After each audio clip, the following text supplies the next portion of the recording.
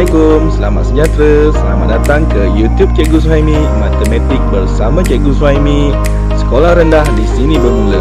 Subscribe, like, komen dan share. Ha, Dah kurang makan sikit. Okey, Assalamualaikum warahmatullahi wabarakatuh.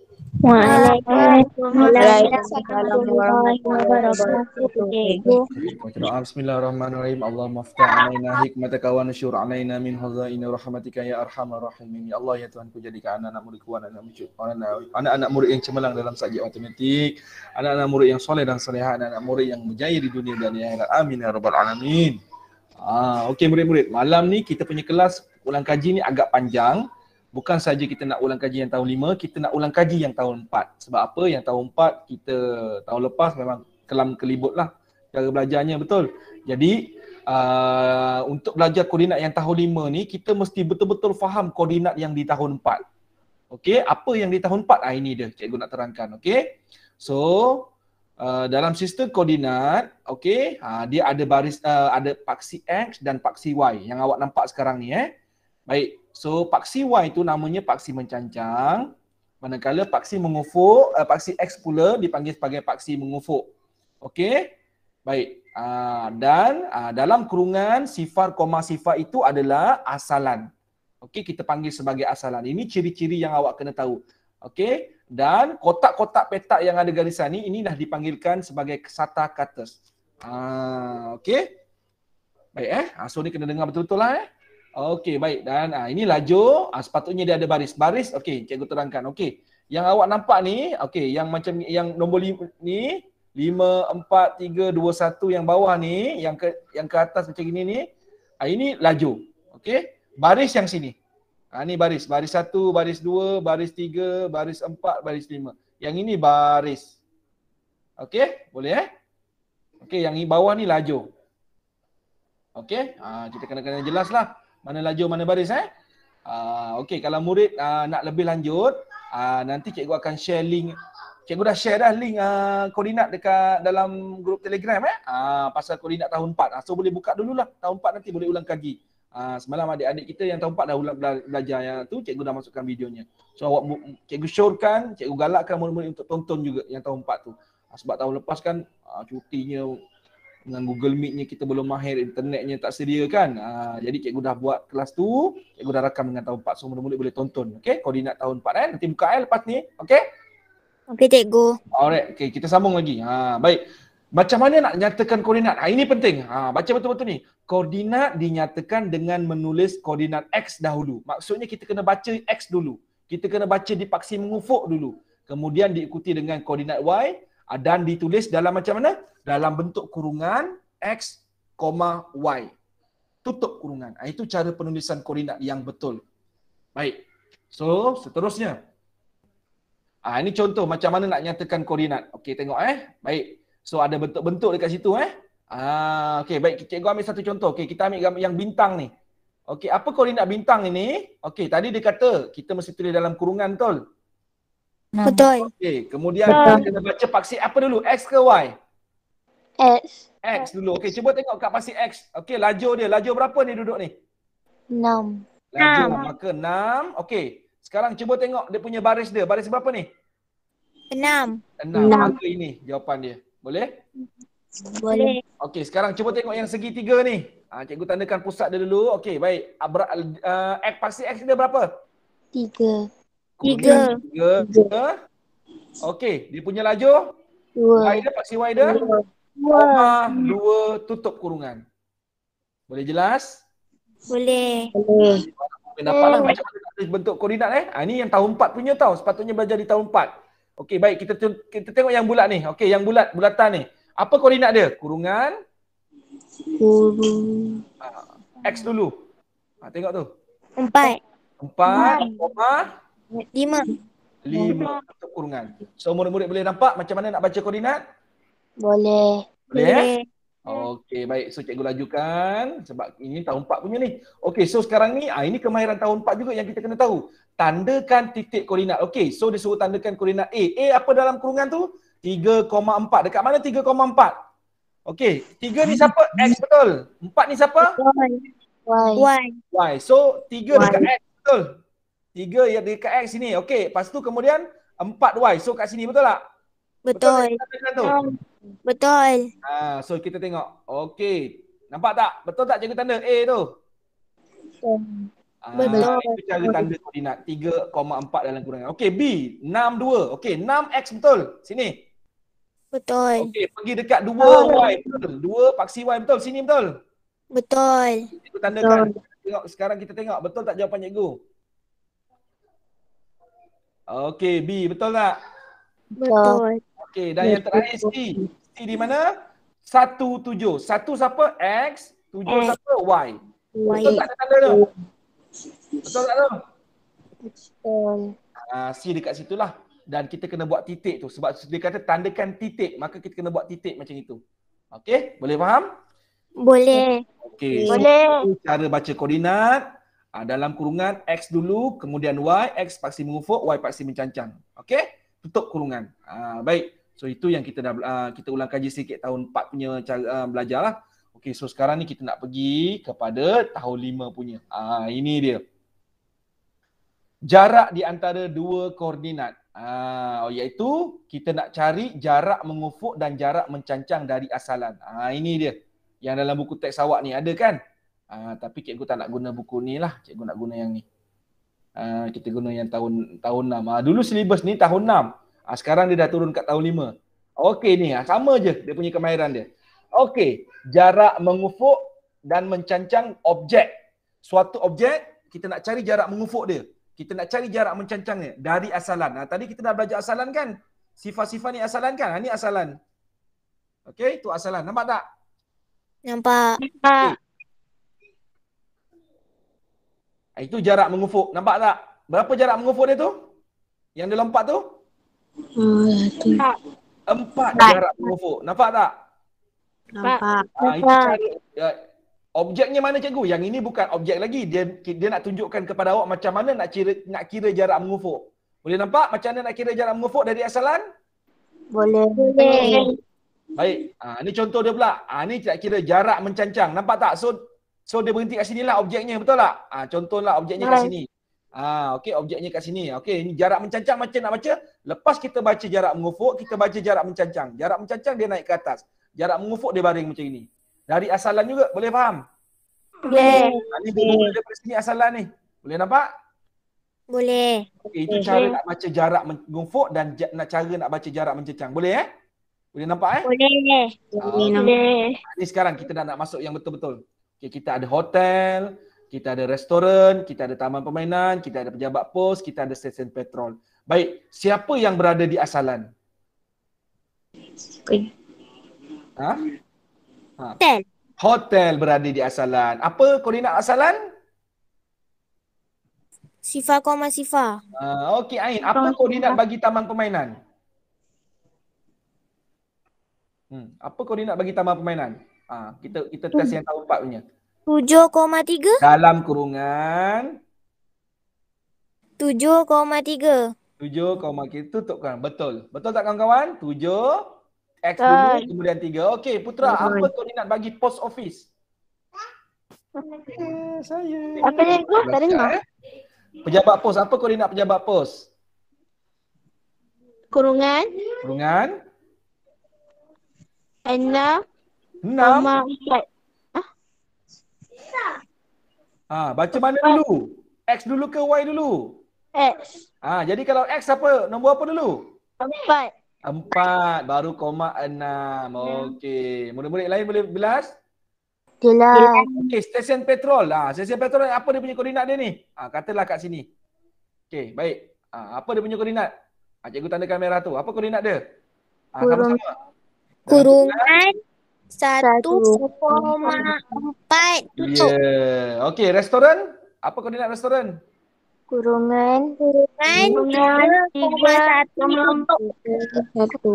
Wah, padahal yang tahun 4 tahun lepas cikgu tak sempat ajar ni. Cikgu cerita tadi 2 minit je tadi, betul tak? Tapi dah faham cara nak baca koordinat. Ah, Alhamdulillah. Itu maksudnya murid-murid, otak awak, pemikiran awak dah matang. Okey, awak boleh terima ilmu yang mudah, Bukan mudah. Sebenarnya awak tak pernah belajar pun. Tapi sebab cikgu kata benda tu dah tahun 4, eh, yang awak belajar, yang tadi cikgu terangkan tu sepatutnya tahun 4. Jadi awak tahu, oh itu tahun 4. Mudah aje. Awak set benda tu jadi mudah. So, bila awak set benda tu jadi mudah, cikgu cerita sekejap je tadi. Awak dah boleh faham. Ah, sebab itu kita kena uh, rasa matematik ni mudah. So, bila kita rasa mudah macam tadi lah. Padahal awak macam yang anak murid cikgu, SK Belemang, cikgu tak sempat ajar tajuk tu. Okey, tapi sebabkan awak set mudah, awak set oh dia tahun 4 lah, mudah aje. Awak dengar je dah boleh faham. Ha, tapi kalau awak di tahun 4 awak oh, akan mula ada rasa oh nak kena faham ni. Ha, macam yang cikgu ajar darjah 4 sekarang ni lah. Ha, dia pun slow-slow nak faham. Ha.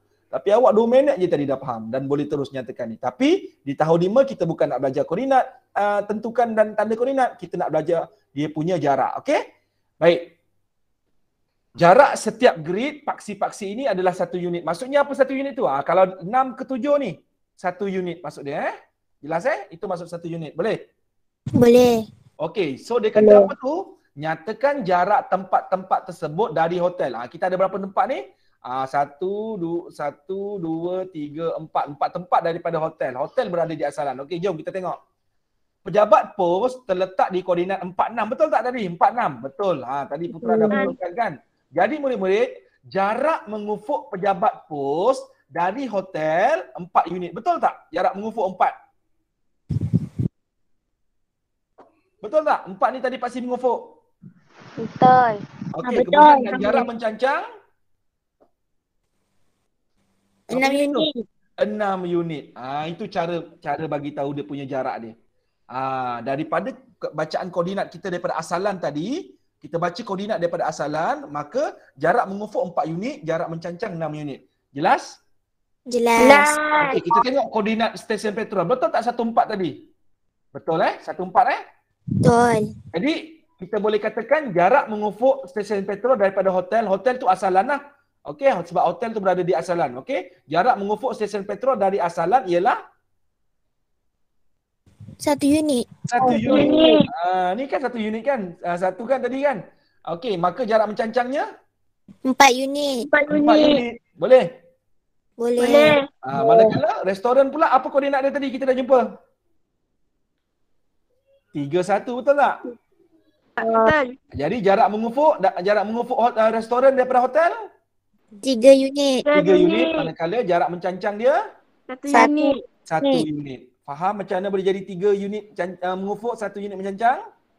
Faham. Faham. Faham. Okey, baik seterusnya yang terakhir koordinat taman permainan ialah 7,3 Ha ah. Ya abang abang ajuk kakak eh nanti kita kawan-kawan okey. Adik pergi dengan ibu dulu.